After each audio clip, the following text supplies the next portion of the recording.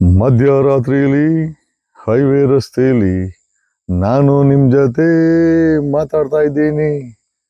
ನಮಸ್ಕಾರ ಕರ್ನಾಟಕ, ನಾನು ನಿಮ್ಮ ಬಿಗ್ ಬಾಸ್ ಕಂಟೆಸ್ಟೆಂಟ್ ಜಗದೀಶ್. ಇಂದು ಬಿಗ್ ಬಾಸ್ ಮನೆಯಿಂದ ಅಫಿಷಿಯಲ್ ಆಗಿ ಹೊರಗಡೆ ಬಂದಿದ್ದೇನೆ.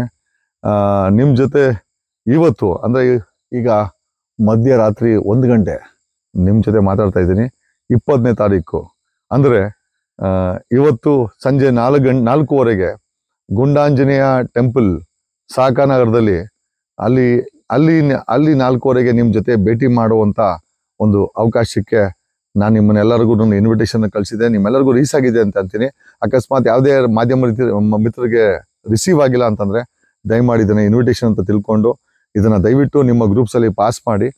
ಅಂದರೆ ಇಪ್ಪತ್ತು, ಅಂದರೆ ಇವತ್ತು ಇವತ್ತು ಮಧ್ಯರಾತ್ರಿ ಹನ್ನೆರಡು ಹನ್ನೆ ಒಂದು ಗಂಟೆ ಇದೆ.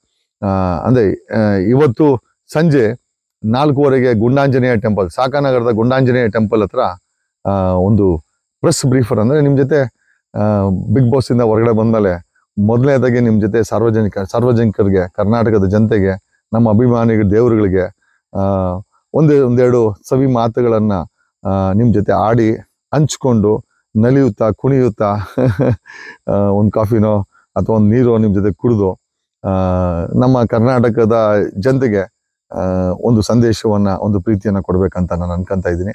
ಹಾಗಾಗಿ ನಾಳೆ, ಐ ಮೀನ್ ಇವತ್ತು ಸಾರಿ ಅಂದ್ರೆ ಇವತ್ತು ಸಂಜೆ ನಾಲ್ಕೂವರೆಗೆ ಇಪ್ಪತ್ತನೇ ತಾರೀಕು, ಇಪ್ಪತ್ತು ಅಕ್ಟೋಬರ್ ಎರಡ್ ಸಾವಿರದ ಇಪ್ಪತ್ನಾಲ್ಕು, ಸಂಜೆ ನಾಲ್ಕೂವರೆಗೆ ಗುಂಡಾಂಜನ ಟೆಂಪಲ್ ಹತ್ರ ನಾವೆಲ್ಲ ಸಿಗೋಣ, ಮಾತಾಡೋಣ, ಕುಣಿಯೋಣ, ನಗೋಣ, ಏನೇನಿದೆ ಎಲ್ಲ ಹಂಚ್ಕೊಳ್ಳೋಣ ಅಂತ ಹೇಳುತ್ತಾ ದಯವಿಟ್ಟು ಯಾವ್ದಾ ಮಾಧ್ಯಮ ಮಿತ್ರರಿಗೆ ಬಂದಿಲ್ಲ ಅಂತಂದ್ರೆ ಟಿವಿ ಚಾನಲ್ಸ್ಗೆ ಬಂದಿಲ್ಲ ಅಂದ್ರೆ ಜರ್ನಲಿಸ್ಟ್ಗೆ ಬಂದಿಲ್ಲ ಅಂತಂದ್ರೆ ಇದನ್ನೇ ಇನ್ವಿಟೇಷನ್ ಅಂತ ತಿಳ್ಕೊಳ್ಳಿ. ಇದನ್ನ ಫೇಸ್ಬುಕ್ ಅಲ್ಲೂ ಹಾಕ್ತೀನಿ ಸೋಷಿಯಲ್ ಮೀಡಿಯಾದಲ್ಲೂ ಹಾಕ್ತೀನಿ.